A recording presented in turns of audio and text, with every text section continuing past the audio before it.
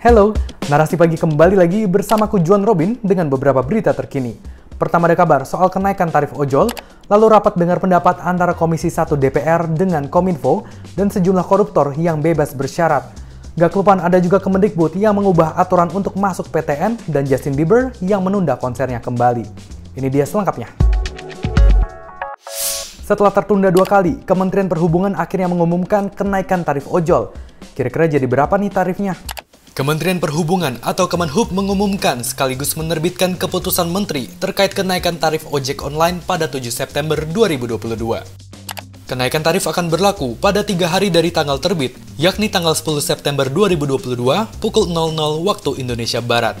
Dalam menyusun tarif ojek online, ada dua komponen yang diperhitungkan, yakni biaya pengemudi atau tarif langsung dan biaya sewa aplikasi sebagai tarif tak langsung. Kenaikan tarif langsung atau biaya pengemudi didasarkan pada kenaikan upah minimum regional atau UMR, asuransi pengemudi, pajak pertambahan nilai atau PPN, dan kenaikan harga BBM. Nah, yang dinaikkan kali ini tarif langsung aja, dan tarif tak langsungnya malah diturunkan. Seperti rencana kenaikan tarif sebelumnya, kenaikan tarif kali ini juga dibagi menjadi tiga wilayah. Zona 1 yang meliputi wilayah Sumatera, Bali, dan Jawa selain Jabodetabek mengalami kenaikan tarif batas bawah dari Rp1.850 per kilometer menjadi Rp2.000 per kilometer.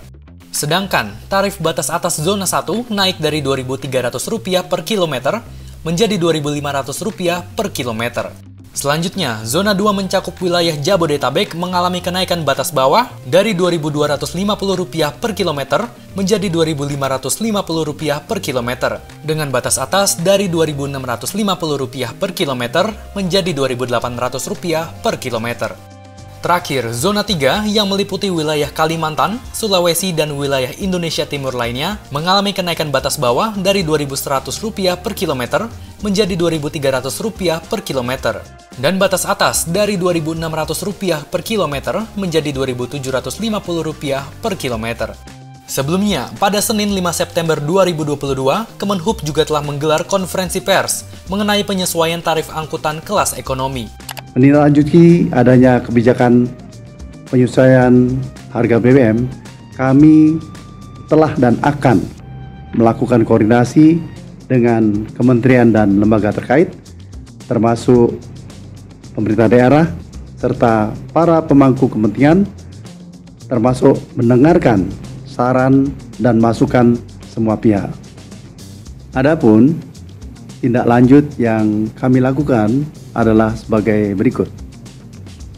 Melakukan penyesuaian tarif angkutan kelas ekonomi, khususnya untuk angkutan darat. Selain ojol, tarif angkutan lainnya yang turut dikerek ialah angkutan antar kota, antar provinsi, atau AKAP. Kenaikan tarif dasar AKAP ini terakhir kali dilakukan pada 2016. Pemerintah memutuskan untuk menaikkan tarif dari Rp119 per penumpang per kilometer menjadi Rp115 per penumpang per kilometer. Kenaikan itu setara dengan 33 persen. Tarif bus akap dibagi menjadi dua wilayah. Wilayah satu yang meliputi Sumatera, Jawa, Bali dan Nusa Tenggara tarif atasnya naik dari Rp155 per penumpang per kilometer menjadi Rp207 per penumpang per kilometer. Sementara, tarif batas bawah wilayah 1 naik dari Rp95 per penumpang per kilometer menjadi Rp128 per penumpang per kilometer. Sedangkan wilayah 2 yang meliputi Kalimantan, Sulawesi, dan daerah Indonesia Timur mengalami kenaikan tarif atas dari Rp172 per penumpang per kilometer menjadi Rp227 per penumpang per kilometer.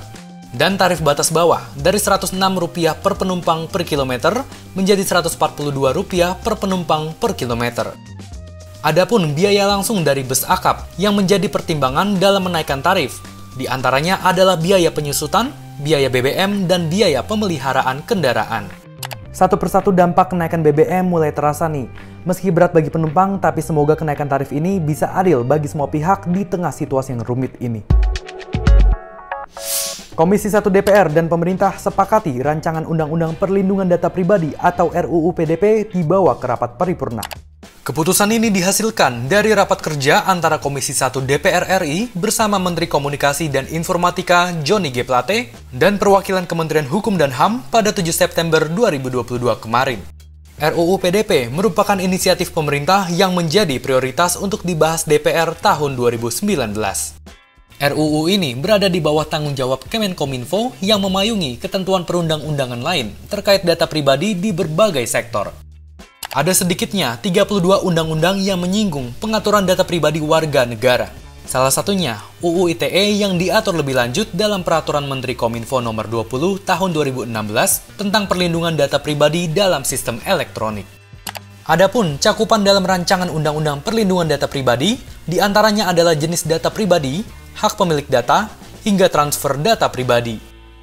Selain menyepakati RUU PDP, yang juga jadi sorotan dalam rapat kerja itu adalah isu kebocoran data yang marak terjadi beberapa waktu ke belakang.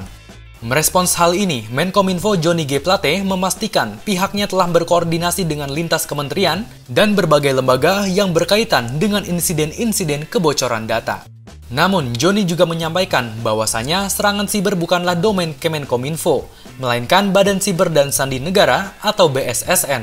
Nah, dalam hal ini ingin kami sampaikan di bawah PP 71 tahun 2019 terhadap semua serangan cyber leading sektor dan domain penting tugas pokok dan fungsi bukan di Kominfo. Terhadap semua serangan cyber atas ruang digital kita menjadi domain teknis badan siber dan sandi negara. Sehingga semua pertanyaan tadi yang disampaikan dalam kaitan dengan serangan cyber, ya, kami tentu tidak bisa menjawab untuk dan atas nama BSSN. Diketahui, beberapa waktu ini kebocoran data menjadi isu yang dikhawatirkan masyarakat, mengingat kasusnya kerap terjadi. Yang terbaru, BSSN menduga adanya kebocoran data milik 105 juta penduduk Indonesia yang disebut-sebut berasal dari Komisi Pemilihan Umum atau KPU. Dugaan kebocoran itu muncul pada 6 September 2022 saat akun bernama Biorka mengunggah data dalam sebuah forum online bernama Bridge Forums. Biorka menyebut data 105 juta penduduk itu berasal dari KPU yang di dalamnya mencakup nomor induk kependudukan atau NIK, kartu keluarga, nama lengkap, tempat tanggal lahir, jenis kelamin, hingga usia. Data tersebut disimpan dalam file berukuran 20 GB atau 4 GB setelah dikompres dalam format comma separated values atau CSV.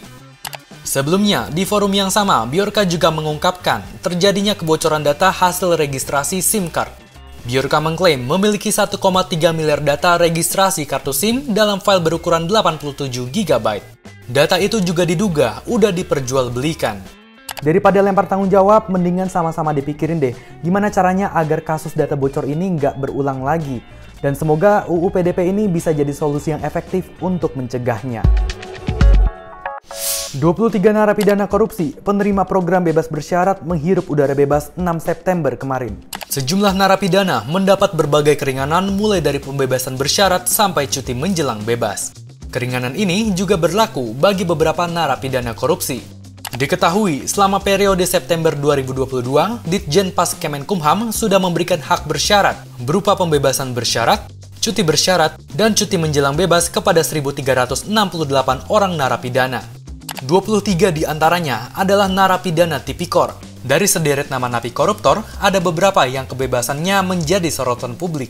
Di antaranya Ratu Atut dan Pinangki Sirna Malasari. Nama lain juga ada mantan Menteri Hukum dan HAM yang juga ex-hakim MK Patrialis Akbar, mantan Menteri Agama Surya Dharma Ali, mantan Gubernur Jambi Zumi Zola, dan adik Ratu Atut Tubagus Kairi Wardana. Langkah ini disayangkan oleh Komisi Pemberantasan Korupsi atau KPK. Juru bicara bidang penindakan KPK, Ali Fikri menyebut bahwa perlakuan khusus ini mencederai semangat penegakan hukum tindak pidana korupsi. Tanggapan senada datang dari Ketua Masyarakat Anti Korupsi Indonesia, Boyamin Saiman.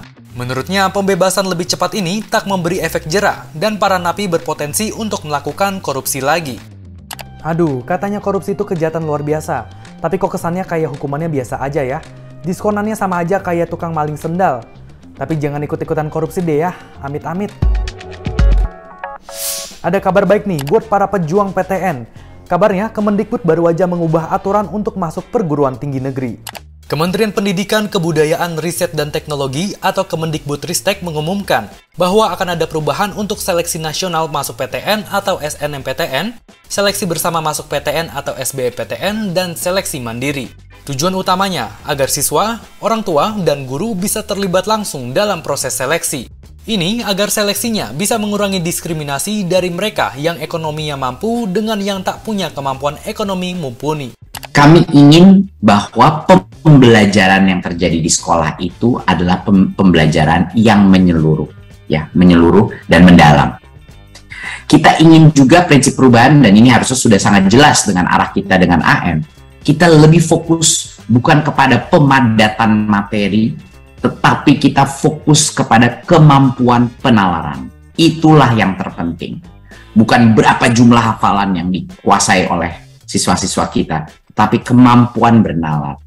Kita juga ingin bahwa perubahan ini lebih inklusif, bahwa mengeliminasi atau meminimalisir diskriminasi ya antara yang punya uh, uh, punya tingkat sosioekonomi lebih tinggi dan yang mungkin uh, masih punya kebutuhan uh, dari sisi ekonomi harus lebih inklusif dan tidak diskriminatif.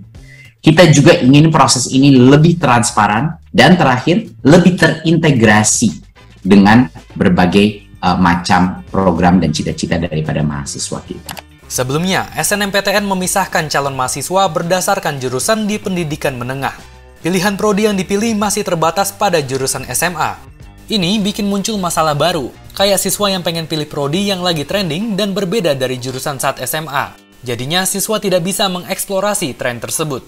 Siswa dibatasi berdasarkan pilihan-pilihan jurusan saat sekolah dan mata pelajaran, serta nilai tertentu saja dalam seleksi SNMPTN. Ini pun bikin siswa dan guru cuma fokus pada mata pelajaran yang masuk dalam penilaian SNMPTN. Kini, skema SNMPTN itu diubah pemeringkatannya dengan mengacu beberapa hal.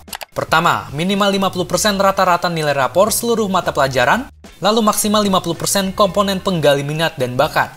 Minat dan bakat yang dimaksud di antaranya nilai rapor dari maksimal dua mata pelajaran, pendukung prestasi, atau portofolio khusus program studi seni dan olahraga. Sedangkan untuk SBMPTN nggak ada lagi tes mata pelajaran. Dulunya ada tes kemampuan akademik atau TKA yang mengukur pengetahuan keilmuan di sekolah. Ada materi UTBK Saintek yang berisikan materi jurusan IPA, materi UTBK Soshum berisikan materi jurusan IPS, dan materi UTBK campuran yang isinya merupakan campuran TKA, Saintek, dan Soshum. Dalam aturan yang dipaparkan Nadim, kini hanya akan ada tes potensi skolastik atau TPS yang berfokus pada kemampuan penalaran pemecahan masalah. Tes potensi skolastik ini akan mengukur potensi kognitif atau kemampuan memecahkan masalah. Lalu, ia juga akan mengukur penalaran matematika, literasi dalam bahasa Indonesia, dan literasi dalam bahasa Inggris. Alasan nggak adanya tes MAPEL di SBMPTN, karena sebelumnya jalur SBM mengujikan materi dan banyak mata pelajaran. Siswa pun jadinya cuma fokus pada MAPEL yang diujikan, sementara mata pelajaran lain jadi dianggap nggak penting bahwa banyak sekali guru terpaksa atau terdorong, uh, tertekan untuk mengejar penuntasan materi. Dan dengan uh, uh, dengan tekanan itu kurang menekankan pemahaman karena ada UTBK, ada UTBK, ada UTBK, udah SBMPT. Jadi tekanan itu benar-benar mendorong banyak sekali guru-guru kita untuk fokus dan bahkan orang tuanya juga menekan guru-gurunya untuk fokus kepada pertanyaan soal-soal UTBK. Dan guru akhirnya menghabiskan waktu belajar untuk melatih mengerjakan soal-soal ini. Dampaknya apa? Kualitas pembelajaran yang mendalam itu turun di dalam sekolah-sekolah kita. Banyaknya peserta didik yang tertekan ya orang tua yang tertekan untuk harus mengikuti berbagai macam bimbingan belajar per mata pelajaran yang harus diambil di tes SBMPTN. Sementara itu, untuk seleksi mandiri PTN sebelumnya enggak punya standar transparansi antar PTN karena mekanisme dan tata cara seleksi yang sepenuhnya jadi kewenangan PTN. Kini, Kemendikbudristek mewajibkan PTN untuk transparan dalam beberapa hal. Pertama, mengumumkan kuota calon mahasiswa yang akan diterima di masing-masing prodi dan fakultas pada masyarakat. Kedua, mengumumkan metode yang akan digunakan untuk penilaian calon mahasiswa. Metodenya terdiri atas beberapa hal, seperti ada tes secara mandiri, kerjasama tes lewat konsepsi perguruan tinggi, dan besaran biaya yang dibebankan bagi calon mahasiswa yang lulus seleksi. Selanjutnya, kampus juga harus mengumumkan besarnya biaya masuk dan metode dalam menentukan biaya tersebut. Kemendikbudristek pun mengungkap mereka ingin mengajak masyarakat untuk ikut terlibat dalam proses pengawasan ini. Ini biar kasus suap kayak yang udah-udah nggak terjadi lagi. Wah, seneng deh dengar perubahannya. Semoga benar-benar bisa inklusif dan siswa bisa masuk jurusan yang benar-benar dia mau. Lagi-lagi, Justin Bieber menunda jadwal konsernya. Ini udah kali kedua Bang Bieber menunda. Kali ini kenapa ya? Justin Bieber menunda sisa jadwal tur dunianya karena alasan kesehatan. Hal ini diumumkan langsung oleh Justin lewat unggahan di media sosialnya 6 September 2022 kemarin. Ia bilang bahwa dirinya butuh istirahat terlebih dahulu sebelum memulai konsernya kembali. Dalam unggahannya, Justin tak menyebut berapa lama dirinya akan istirahat dan jadwal tur apa saja yang terdampak dari keputusan itu. Ia hanya mengungkapkan hal-hal yang dirasakannya usai dirinya beres manggung dalam 6 tur. Justin pun baru tuntas manggung dalam berbagai acara di Eropa dan terakhir, ia tampil di Rock in Rio, Brazil. Saat turun dari panggung, Justin langsung merasa lelah dan sadar bahwa dirinya perlu memprioritaskan kesehatan. Alhasil, ia memutuskan untuk tak melanjutkan tur dunia dalam waktu yang belum ditentukan. Sebenarnya, Justice World Tour Justin Bieber berlangsung mulai Maret 2022 dengan sekitar 70 pertunjukan tambahan yang dijadwalkan tuntas pada Maret 2023. Tour ini jadi tour global pertamanya sejak Purpose World Tour pada 2016 hingga 2017 lalu. Bila kita tengok jadwal turnya, Indonesia jadi salah satu negara tujuan dalam tur dunia Justin Bieber di Asia. Konsernya sendiri rencananya akan digelar pada 2 dan 3 November 2022 di Stadion Madia Gelora Bung Karno, Jakarta. Dari pihak promotor, AEG Presents Asia pun meminta para pembeli tiket untuk menunggu kabar terbaru. Namun mereka menyebut sejauh ini tur Justin Bieber di Asia masih berlanjut sesuai jadwal. Sebelumnya, Justin juga sempat menunda tur Amerika Utara pada awal Juni lalu. Sebab saat itu ia sedang berjuang melawan Ramsay Hunt Syndrome, virus langka yang membuat wajahnya lumpuh. Hingga pada Juli, Justin akhirnya menyatakan siap melanjutkan tur dunianya. As you can probably see from my face, Um, I have uh, this syndrome called uh, um, Ramsey Hunt syndrome, and it is from this virus that um, attacks the nerve in my ear and my facial nerves and has caused my face to have paralysis. As you can see, this eye is not blinking. I can't smile on this side of my face. This nostril will not move. Baru aja mulai manggung, sekarang udah ditunda lagi konsernya. Tapi tetap aja kesehatan itu nomor satu. Lekas sembuh ya Justin. Itu dia 5 sarapan informasi kita hari ini. Narasi pagi akan kembali lagi besok pukul 8 waktu Indonesia Barat live di Instagram Narasi Newsroom dan Mata Najwa. Sehat semangat terus semuanya. Bye bye.